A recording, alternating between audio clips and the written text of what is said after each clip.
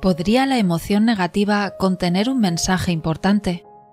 Por ejemplo, el hecho de sentirme deprimido puede indicar que algo va mal en mi vida y puede obligarme a examinar mi situación e introducir algunos cambios.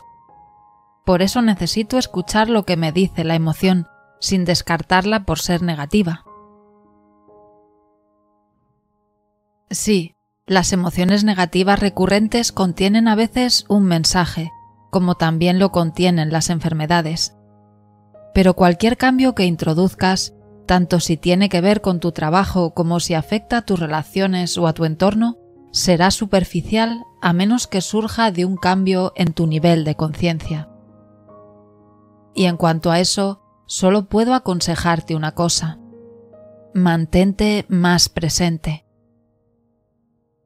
Cuando hayas alcanzado cierto grado de presencia, ya no necesitarás que la negatividad te indique qué necesita tu situación de vida. Pero mientras la negatividad esté ahí, úsala. Úsala como recordatorio de que has de estar más presente.